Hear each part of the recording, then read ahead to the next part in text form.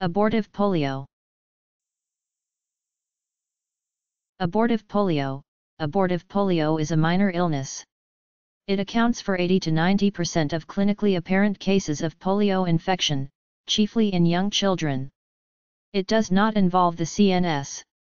The usual symptoms are slight fever, malaise, headache, sore throat, and vomiting which hit 3 to 5 days after exposure to the polio virus.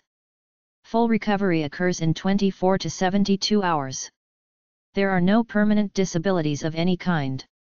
Polio as a major illness is in contrast to abortive polio.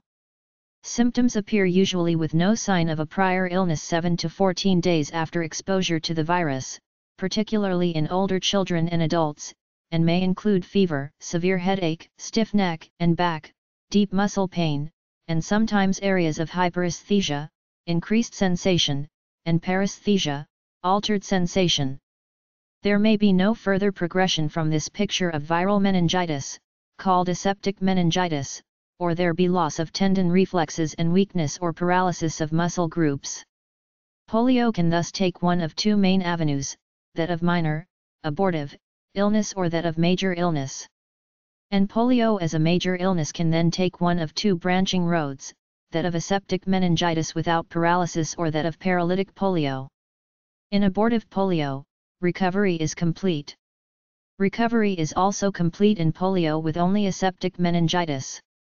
In paralytic polio, about 50% of patients recover with no residual paralysis, about 25% are left with mild disabilities, and the remaining patients have severe permanent disability.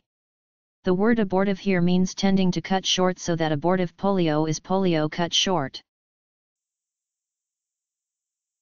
A, B, O, R, T, I, V, E, P, O, L, I, O.